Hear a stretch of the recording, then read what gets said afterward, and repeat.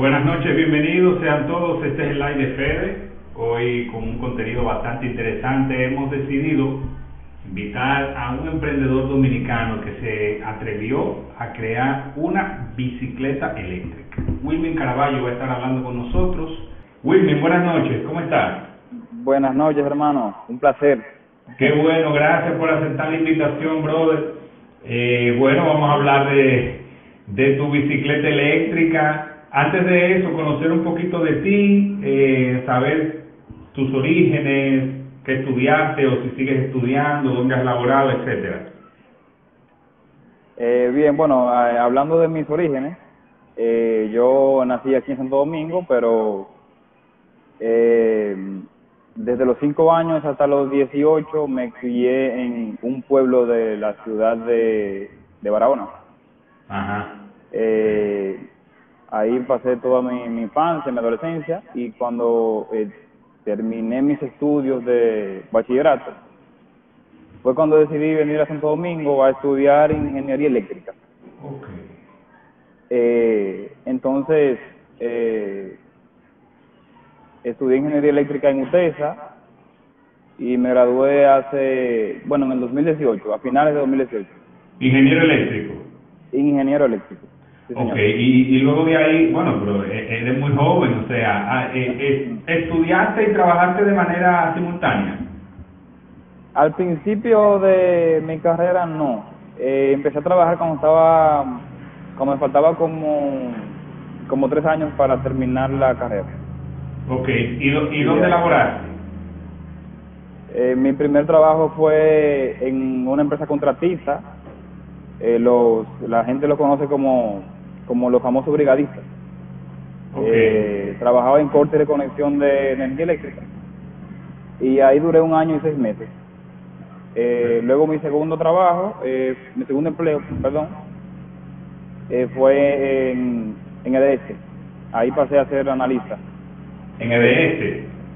Sí, estoy actualmente en EDS. Ah, bueno, estás en EDS ahora mismo. Entonces, ¿de dónde surge la inquietud, el interés y la decisión de una bicicleta eléctrica? Bueno, eh, la idea surgió recién iniciando el periodo de, cuarentena por el coronavirus. Eh, recuerdo cuando tenía como dos meses, más o menos, eh, tenía mucho tiempo libre, eh, no estaba eh, yendo a trabajo porque nos suspendieron. Ok. Entonces, como a mí siempre me han gustado las bicicletas y también los temas eléctricos, Claro. entonces eh, eh, fue como una fusión ahí. Y me llegó la idea de la bicicleta eléctrica. Ya. Entonces empecé a investigar eh, en internet de las cosas que yo necesitaba adquirir. Eh, en esos días recuerdo que me puse a yo mismo a dibujar eh, diferentes eh, chasis porque yo quería hacer mi propio chasis. Ok. Dibujaste Eh, prototipos. Eh, sí, dibujé prototipos y así fue que empecé, eh, comprando algunas cosas y eh, al cabo ya como de un mes ya tenía casi, se podría decir casi todo lo que iba a necesitar para, para armar la bicicleta eléctrica. Ok, o sea que tú no tomaste una bicicleta y le añadiste cosas, sino que tú la fuiste creando, la fuiste ideando.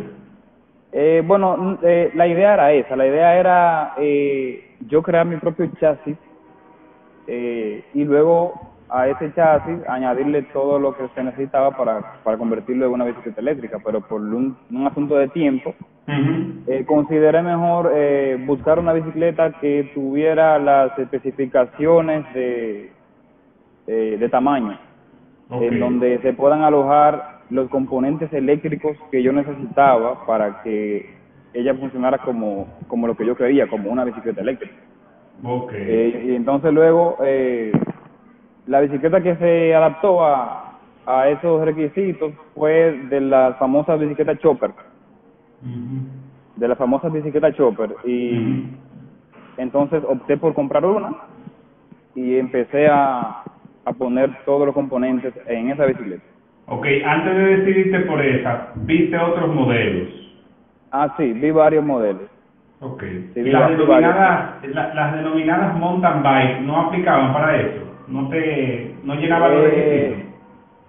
Eh, sí, llenaban los requisitos, pero el, el tema está en que en que yo quería más que se que o sea que aparte de que es una bicicleta se viera como una moto, como una moto eléctrica. Ah, Entonces, eh, entonces eh, como las bicicletas chopper tienen esa peculiaridad de que de que parecen realmente una moto, aunque son una bicicleta. Entonces ya cuando le añades los componentes, el motor eléctrico, la batería, da la impresión de que uno se mueve en, en una motocicleta. ¿Ves? Y, y me, me, me, gustó me, cómo quedó. O sea, eh, la, me gustó más que si hubiera usado una mountain bike, por ejemplo.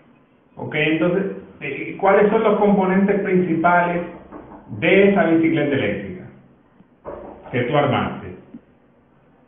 Bien, el primer componente que, que decidí eh, eh, conseguir fue el motor. Es el componente más importante, porque es el, el que me da la, la facilidad de moverme. Es, es lo que la convierte, se podría decir, de manera inmediata en una bicicleta eléctrica. Y entonces, eh, no fue que compré un motor eléctrico, sino que tomé un alternador de un vehículo. Eh. No sé si tú sabrás que el alternador es la parte del vehículo que genera la energía La, eléctrica. la electric- exactamente, la electricidad. Exacto, es básicamente un generador eh, que convierte la- el movimiento mecánico en energía eléctrica. Entonces lo que hice fue que lo convertí a motor. O sea, ahora él está haciendo la función inversa para lo que él fue creado. Ok. En- Entonces lo destapé y como eh, yo sé mucho de esos asuntos, hice las conexiones que tenía que hacer al alternador y algunas adaptaciones eh, en las que tuve que, que eh, crear piezas que no existían ni siquiera, porque tenía que buscar la manera de que el motor quede atornillado a la bicicleta. Ya. Entonces tomaste el alternador, lo adaptaste, pero Exacto. tú tú- tuviste que modificarlo, el alternador, no. Lo dejaste tal cual Eh, estaba. eh, eh, tuve que modificarlo porque como ya yo no, no, lo- no lo necesitaba para que genere energía, sino para que se convierta en un motor, eh, tuve que quitarle eh, las piezas que eh, hacen que él funcione como generador, o sea, rectificador, eh, tuve que quitarle el regulador de voltaje y luego a lo interno hay, en ingeniería eléctrica hay dos tipos de conexiones en los motores eléctricos. Hay una conexión que es eh, la conexión en, en delta de la bobina y una conexión en estrella. Ujú. Entonces tuve que eh, eh, llevarlo de la conexión delta a la conexión estrella. Eso fue un poco trabajoso porque ahí tuve que, que destaparlo, eh, eh, soldar cables y eso fue lo, lo que- lo que me dio un poquito más de trabajo pero luego luego de que hice esa parte ya todo fue más fluido ¿Qué tiempo te tomó ese trabajo de, de, de modificar y adecuar el alternador? Bueno el adecuar el alternador yo mm, me tomé como alrededor de de un mes más o menos Un mes. Bueno, lo hacías en tu tiempo libre porque tienes compromisos eh, laborales. Entonces, luego del alternador, ¿cuál fue, ¿cuáles fueron las siguientes piezas? bueno de- luego de ya eh, tener el, el alternador eh, ya funcionando como un motor eléctrico yo recuerdo que ya tenía la bicicleta eh, aquí la bicicleta chopper. Entonces tenía que eh, eh, tenía que acoplar el motor a la bicicleta. Entonces ahí empecé a, a pensar cuál cuál sería la mejor manera. Y como no quería estropear el chasis eh, busqué la manera de que el motor eh, por medio del tornillo tipo U se, agra- se agarraran del, del chasis de la bicicleta. O sea que yo simplemente, si yo quiero quitar el motor, solamente tengo que aflojar unos tornillos y ya. Para eso tuve que ingeniármela y eh, diseñar eh, unas eh, piezas mecánicas.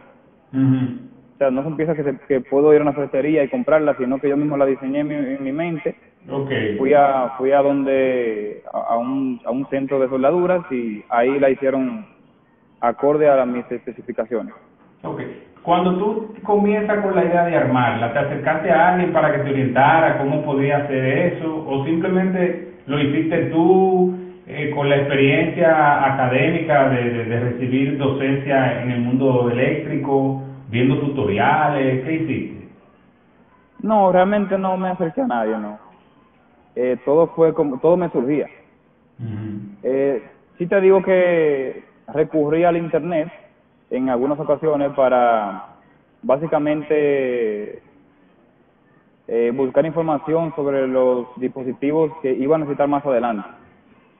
Porque aparte de la batería, por ejemplo, hay un dispositivo electrónico, el cual el manual eh, estaba en chino y tuve que recurrir al internet para poder eh, cambiarlo a, decir, para poder traducirlos y ver cómo iban las conexiones y todo eso. Y pero en todo eso no recurría a alguien específico, eh, por ejemplo, personas cercanas, sino que al internet. Ok. Eh, ¿Regularmente a qué hora tú trabajabas? ¿En la noche? ¿O en la tarde? Eh, no, yo trabajaba en, en el día. Ok. Me pasaba horas ahí, a, a veces me pasaba, a, a veces veía el reloj y de momento pasaban tres horas, cuatro horas. Ok.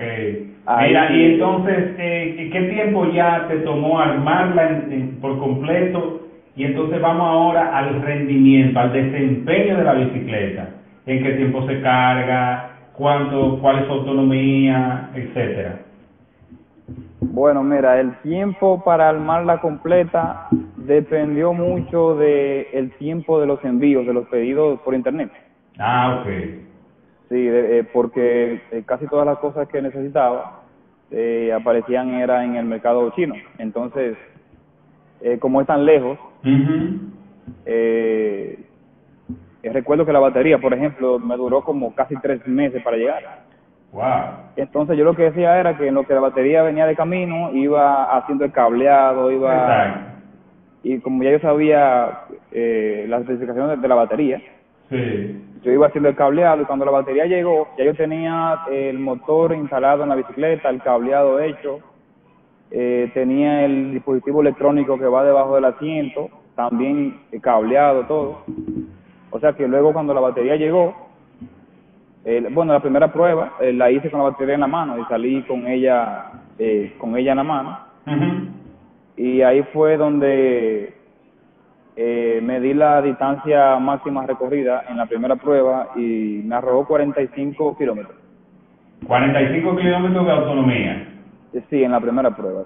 Pero 45 kilómetros es un día de trabajo en cualquier vehículo, ¿eh? O sea, Sí, no en es. cualquier vehículo, me explico. Una persona en el casco urbano regularmente recorre 30, 35, depende de donde viva, pero no pasa de ahí. O sea, estamos hablando de movimientos de, de movimientos normales dentro de la ciudad, porque si una persona entra a las 8, deja su, su vehículo parqueado y sale a las 5 y retorna a su casa sin hacer otra diligencia, no lo va a recorrer los 35 kilómetros, dependiendo de donde viva, claro está.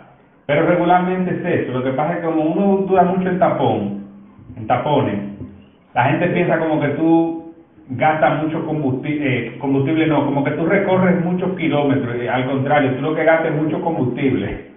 Exacto, exacto. Entonces, eso es lo que pasa, pero es una buena autonomía. Cuando te dio esos 45 kilómetros de autonomía, ¿tú lo, lo, lo, comparaste con otras bicicletas o motocicletas eléctricas con autonomía similar? Eh, no, en ese momento no, eh, no lo comparé. Pero luego me di cuenta más adelante que habían bicicletas ya, eh, ¿cómo te puedo decir?, de fábrica, Por, sí. que, que me daban una autonomía más o menos cercana, eh, 50 kilómetros, 60 kilómetros. Oh, pero bien. Eh, y yo dije, bueno, pero para hacer mi primera bicicleta eléctrica, está muy cerca de las Mm. bicicletas comerciales en cuanto Claro. a en, cuanto a autonomía y distancia recorrida. Claro.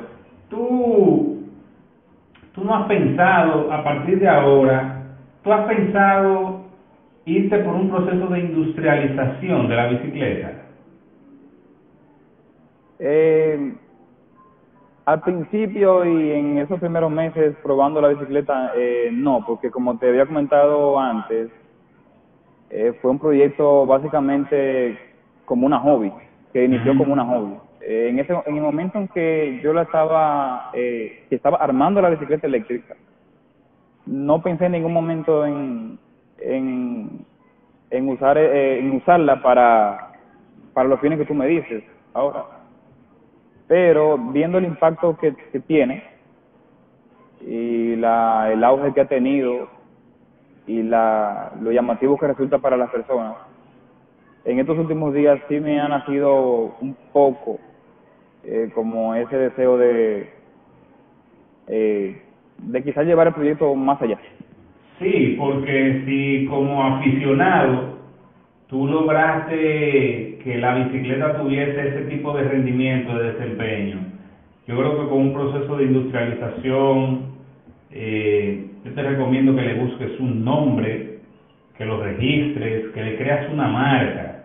De hecho, aquí ya tenemos eh, un dominicano, don Manuel González Abud, que fue el primero que convirtió un vehículo de combustión eléctrico y ahora tiene una marca totalmente eléctrica, se llama a sí mismo Go Electric.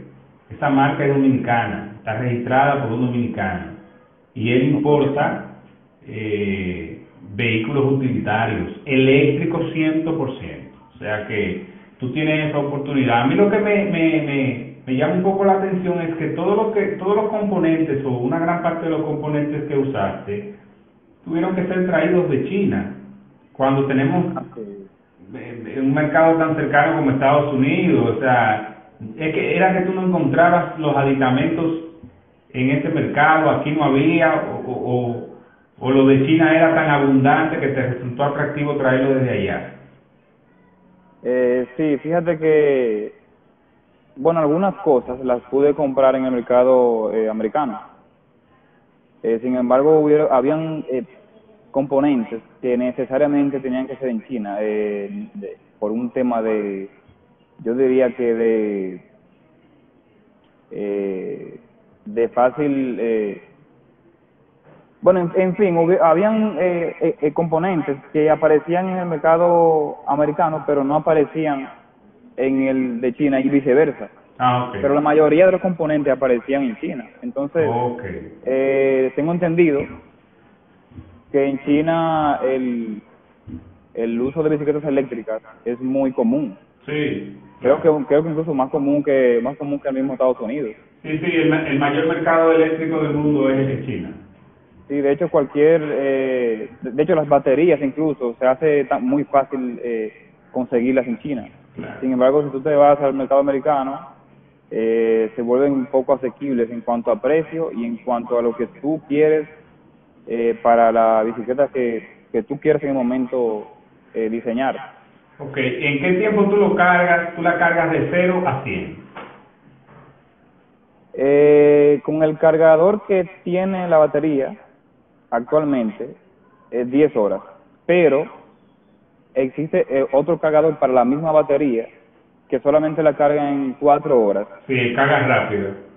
Eh, sí, carga rápida. Una carga rápida. O sea, 10 horas, 110. Exacto, sí. Es un cargador que le envía más potencia a la batería. Sí, claro. No la dejes en una marquesina que te la roban. ¿Y tú andas en ella el día entero para tu trabajo? eh, no, realmente no. Yo la uso básicamente para eh, para dar mi vueltica en el barrio y, y por la zona. Sí, sí. Y llama mucho la atención realmente. Claro. Y, y una cosa. Los AMEL no te han parado pensando que es un motor sin placa. sí. Fíjate que eh, siempre que, que ando en ella, siempre estoy pensando en eso, en que qué pensará un AME o un policía si, si me para, porque no es un motor, tampoco es una bicicleta del todo. Entonces uno siempre eh, piensa, bueno, eh, qué pensará la, la, las autoridades, ya sea la MED o la policía, si me ven en ella. Sí. Pero bueno, eh, nada preparado, si algún día me paran, yo le, le comentaría que es un proyecto y, y hasta donde yo sé, hasta donde yo sé, no existe ningún tipo de permiso especial para uno transitar una bicicleta eléctrica, No, no, no. hasta, hasta el momento. No, no, no, no. Eso, Eso no me da un poco más de tranquilidad. Eso no tiene mayores complicaciones. No, lo que pasa es que te lo digo porque he tenido amigos que andan en carros eléctricos y, y, y han dado carrera, como uno dice, y lo han detenido y un aparataje, y él piensa que, bueno, está pasando algo, simplemente para preguntarle o decirle, ¿y es verdad que no tiene gasolina? Sí, lo- Pero lo- lo se sorprende todavía. Y no sí sabe que- pasa- Sí, y no sabe que, por ejemplo, como tú lo explicaste muy bien, el vehículo de combustión, el vehículo tradicional, tiene componentes eléctricos. Exacto. Entonces la gente piensa como que eh, eh, todo lo que se mueve dentro de un vehículo de gasolina, lo mueve la gasolina solamente, lo que hay, hay componentes eléctricos. Pero de verdad, eh, Whitney, yo me siento muy contento. Eh, nosotros, por ejemplo, en el caso mío, que estoy trabajando con como director ejecutivo de la Asociación de Movilidad Eléctrica Dominicana, somos EDO, eh, yo creo que este es un punto muy a favor porque sin lugar a dudas, por ejemplo, en República Dominicana el, el- el medio de transporte más importante es eh, el vehículo de dos ruedas, la motocicleta. Entonces, Sí. tú estás en un paso importante eh, que, que quizás puedes eh, derivar de la bicicleta a crear una motocicleta de manufactura local. Por eso te decía, el tema de, de, quizás mirar más allá, no tiene que ser en los próximos dos, tres años, sino tú dirás, bueno, en cinco años yo quiero patentar una motocicleta. Eh, yo le veo viabilidad, yo le veo viabilidad, de verdad que sí. Sí, ese, a mí también me llama mucho la atención, ya que producto del impacto que ha tenido la bicicleta, eh, me llama mucho la atención y, y no descarto de que de momento eh, yo diseñe mi propio chasis y de repente yo mismo eh, forme ya una motocicleta eléctrica. Claro. Porque claro. solamente con añadir, solamente con agregar otra batería tendría el doble de, de distancia recorrida, o sea, estamos hablando de 90 kilómetros. Oh, pero Eh, 90 kilómetros es... y- Yo creo que un motor tradicional no da 90 kilómetros. Bueno, eh, mm, eh, no sé, pero pero eh, es mucho, es mucho. Cualquier vehículo eléctrico eh, re- recorre máximo 150 kilómetros, eh, algunos, bueno, 200, 400. Entonces, una bicicleta eléctrica diseñada por una persona en su casa que recorra 90 kilómetros. O sea, eso es algo que, No, ya, ya, ya ahí pasaría a ser una motocicleta. Ya deja de ser bicicleta. bueno, sí, sí, exacto. Ya, ya hay que pensar en un proceso de industrialización. Eh, Wilmin, tus padres, eh, si aún están contigo en el plano terrenal, eh, ¿qué- ¿cómo se han sentido después de esta creación? Eh, ¿Qué te han dicho? ¿Cómo te, cómo se expresan ante esto? Bueno, mi, mi padre eh, no está ya en el plano terrenal, como tú lo mencionas, en paz descanse. Eh, mi mamá y mis demás eh, familiares viven cerca de mí y, y realmente ellos no sabían que yo estaba creando la bicicleta. Fue el momento en que yo salí en ella la primera vez, cuando ellos, cuando me vieron y se sorprendieron, pero no tanto porque ellos saben que yo soy un muchacho muy creativo, que siempre vivo inventando cosas. Entonces, eh, eso fue todo un show, foto por aquí, video por allí. Y De, de hecho, hay uno, hay muchos videos por ahí regados en, la- en las redes de, esos días cuando yo salí en ella. Y la gente diciéndome que, dime, ¿me la vendes? dime, dime, dame una. te- No, pero si, si te consigo todo, si te consigo todo, dime para que me haga una ahora mismo. dile que sí, dile que sí, comienza a facturar. claro. Entonces, entonces eh, eh, es muy, eh, o sea, ver que tu familia eh, se siente bien con, con las cosas sanas que tú puedes hacer, claro. eso, eso hace sentir a uno, a uno muy bien. Y ver la Claro, alegría de claro la, que de la sí, gente, pero si- si te eh, piden una- fotos en donde quiera que voy, me le tiran fotos, y pregunta por aquí, pregunta por allí, me siguen en Instagram. Ah, qué bueno, Qué bueno. Sí, que te sigan ahí, Wilmin Javier Caraballo, así mismo, Wilmin Javier Caraballo, arroba Wilmin Javier Caraballo, para que la gente te siga. Y el que te pide una bicicleta eléctrica, dile que sí, que tú se la haces y cóbrale. Claro, porque tu talento, mira, el, conocimiento no tiene precio. Y tú has trabajado y has estudiado para eso. Ya tienes una creación, es lo importante, te decidiste. Eh, claro que sí. Eh, cóbrale, cóbrale para que vayas haciendo más bicicletas. Bueno, gracias. De verdad, de verdad que me siento contento, me siento feliz de, de este paso que hayas dado. Yo espero que tú sirvas de motivación a otros jóvenes de la misma área tuya. Aquí, por ejemplo, tenemos eh, ITESA, el Instituto Tecnológico ah, eh, Técnico Salesiano. Salesiano, que diga.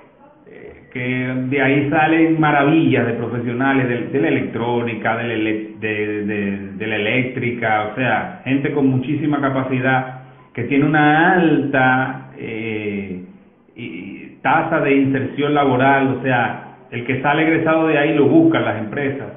A que yo espero que se motiven también y, y, que, y que sepan que aquí no, no solo se produce pelotero, que también se produce gente con, con creatividad, gente de ciencia.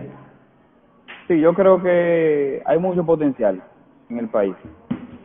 Eh, basta solamente con sumergirse un poco en, en ese mundo de, de, de las universidades, los politécnicos, Infotec, por ejemplo, y tú te das cuenta que no se está explotando como al máximo, como debería. O sea, creo que tenemos mucho que dar como dominicanos.